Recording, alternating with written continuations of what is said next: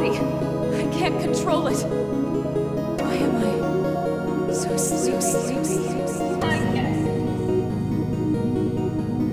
Strength, strength comes from experience. That's true on any, true on anyone.